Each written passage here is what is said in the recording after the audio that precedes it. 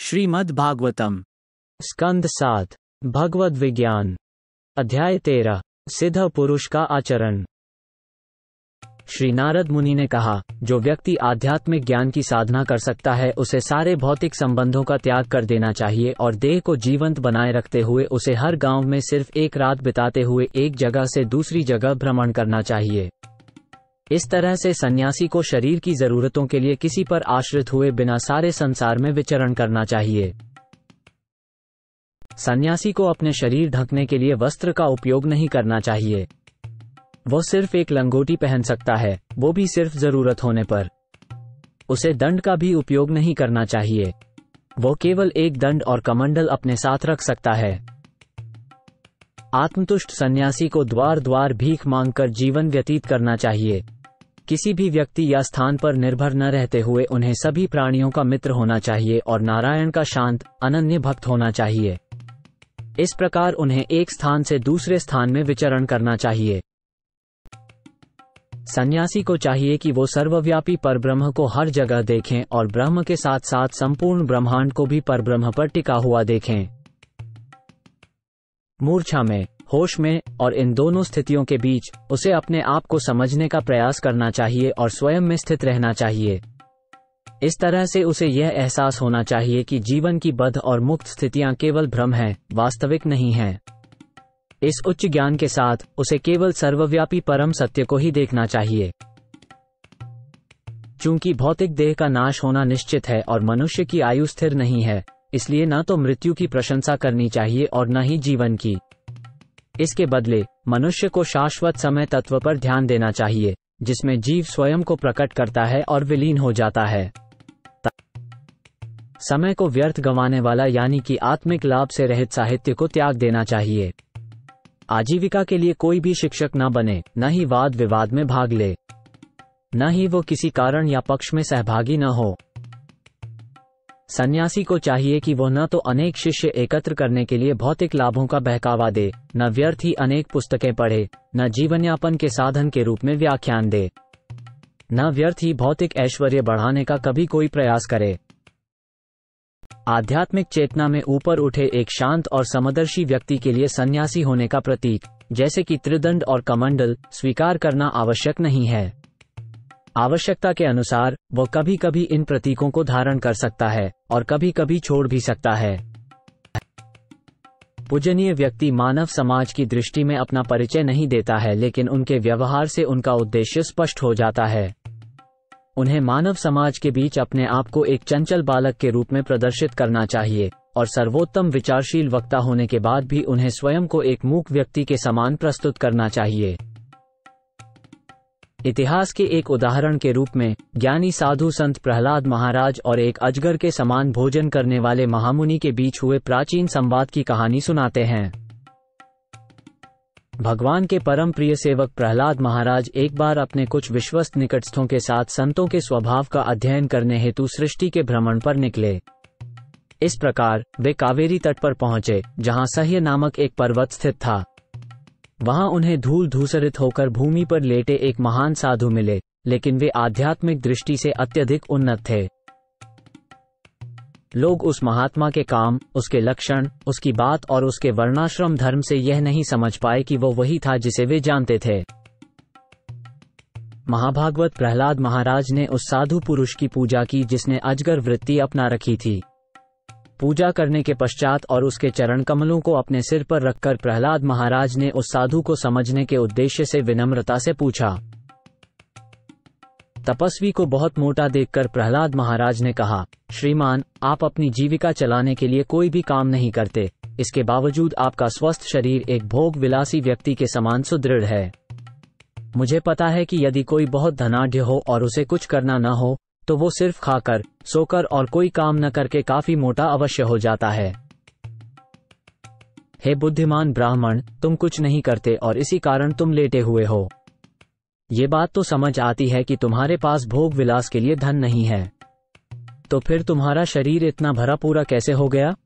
ऐसी परिस्थिति में यदि तुम मेरे प्रश्न को उचित मानते हो तो कृपा करके समझाओ कि यह कैसे संभव हुआ। मुझे ऐसा प्रतीत होता है कि महाराज आप विद्वान, कुशल और हर प्रकार से बुद्धिमान हैं। आप अति सुंदरता से बोलते हैं, आपके शब्द दिल को भाते हैं। आप देख रहे हैं कि सब लोग सकौम कर्म में लगे हुए हैं। फिर भी आप यहाँ निष्क्रिय पड़े हुए हैं। नारद मुनि ने आगे कहा जब दैत्यराज प्रहलाद महाराज उस साधु पुरुष से इस तरह से प्रश्न कर रहे थे तो वो उनके मुँह से निकले मधुर और ज्ञानपूर्ण शब्दों की अमृत वर्षा से मोहित हो गया और मुस्कुराते हुए प्रहलाद महाराज की जिज्ञासा का उत्तर दिया। साधु ब्राह्मण ने कहा, हे श्रेष्ठ असुर, दानव, हे प्रहलाद महाराज, आप सभ्य व शिक्षित पुरुषों द्वारा पूजनीय हैं। आपके पास दिव्य दृष्टि है जिससे आप मनुष्यों के चरित्र को देख सकते हैं और उनके कर्मों के परिणामों को समझ सकते हैं। इसलिए आप जीवन की विभिन्न अवस्थाओं से अवगत हैं। सब ऐश्वर्य से परिपूर्ण। भगवान नारायण आपकी शुद्ध भक्ति के कारण आपके हृदय के केंद्र में सर्वोच्च हैं। वे अज्ञानता का अंधकार उसी तरह दूर करते हैं जैसे सूर्य ब्रह्मांड से अंधकार को मिटा देता है। हे राजन, आप तो सब कुछ जानते ही हैं, फिर भी आपने कुछ प्रश्न पूछे हैं। अतः जैसा मैंने गुरुजनों से सुनकर सीखा है, उसके अनुसार ही उनका उत्तर देने का प्रयास करूँगा। इस विषय में चुप रहना मेरे लिए असंभव है क्योंकि जो आत्मशुद्धि की इच्छा रखता है, उसके लिए आप जैसे व्यक्ति से संवाद करना ही श्रेष्ठ है। अतृप्त भौतिक इच्छाओं के कारण मैं भौतिक प्रकृति के नियमों की लहरों में बह रहा था और इस प्रकार मैं जीवन के विभिन्न रूपों में अस्तित्व के लिए संघर्ष करते हुए विभिन्न गतिविधियों में लगा हुआ था। विकास प्रक्रिया के दौरान, जो अवांछनीय सांसारिक सुखों हेतु किए गए कर्मों के कारण उत्पन्न होती है मुझे मनुष्य योनि मिली है, जो स्वर्गलोक, मोक्ष, निम्न योनियों या मानव जन्मों में पुनर्जन्म तक ले जा सकती है। इस मानवीय जीवन में, पुरुष और महिलाएँ कामुकता के सुख के लिए एकजुट होते हैं, परंतु वास्तविक अनुभव से हमने देखा है कि उनमें से कोई भी सुखी नहीं है। इसलिए विपरीत परिणामों को देखते हुए मैंने भौतिकवादी गतिविधियों में भाग लेना बंद कर दिया है। जीवों के लिए जीवन का वास्तविक स्वरूप आध्यात्मिक सुख का है और यही सच्चा सुख है। इस सुख को तभी प्राप्त किया जा सकता है जब मनुष्य सारे भौतिकतावादी कार्यकलापों को बंद कर दे। भौतिक इंद्रिय भोग मात्र एक कल्पना मात्र है, इसलिए इस विषय पर विचार करके मैंने सारे भौतिक कार्यकलाप बंद कर दिए हैं और अब यहाँ लेटा हुआ हूँ। इस प्रकार शरीर के अंदर रहने वाली आत्मा अपने हित को भूल जाती है क्योंकि वह अपनी पहचान शरीर से बनाने लगती है। क्योंकि शरीर भौतिक होता है, इसलिए उसका स्वाभाविक झुकाव भौतिक दुनिया की विविधताओं की ओर होता है। इस तरह जीवन इकाई भौतिक अस्तित्व के दुखों को भोगती है।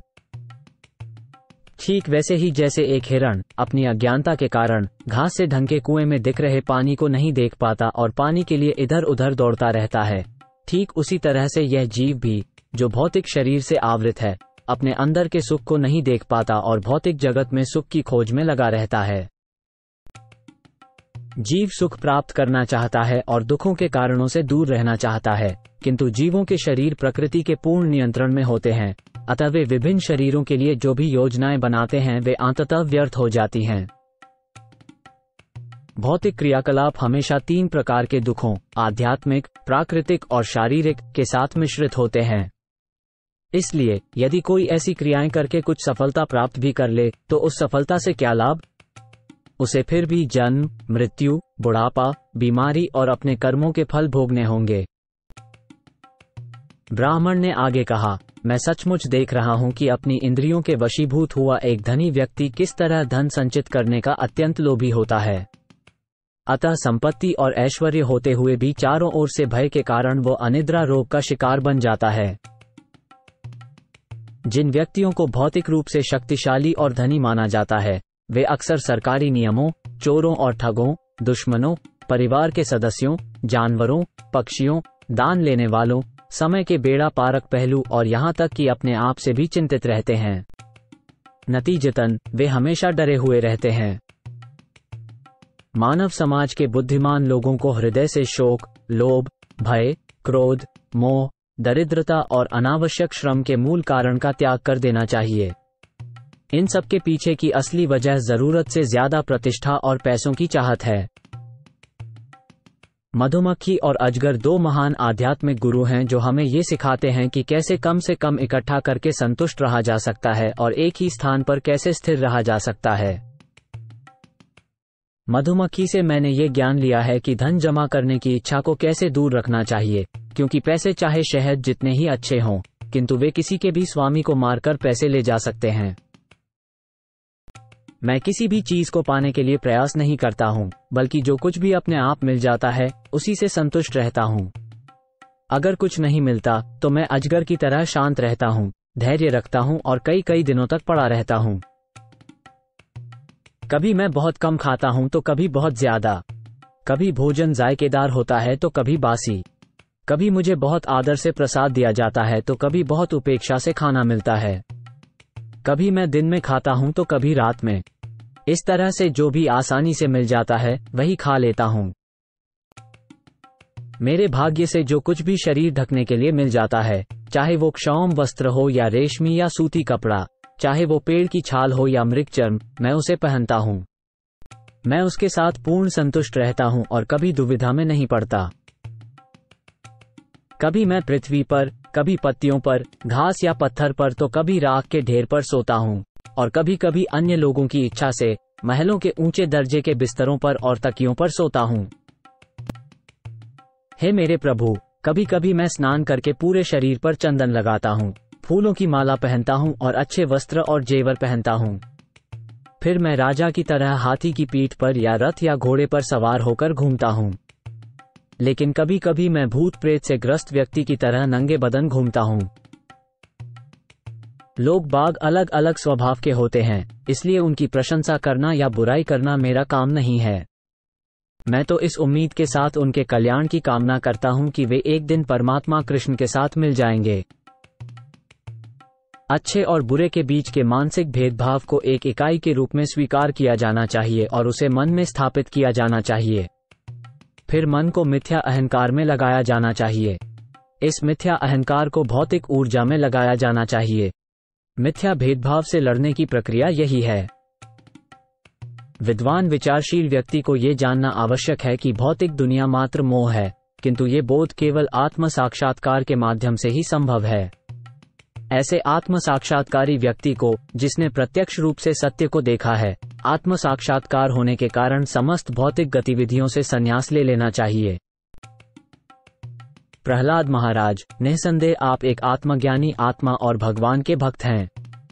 आप न तो लोगों की राय की परवाह करते हैं और न ही दिखावटी शास्त्रों की।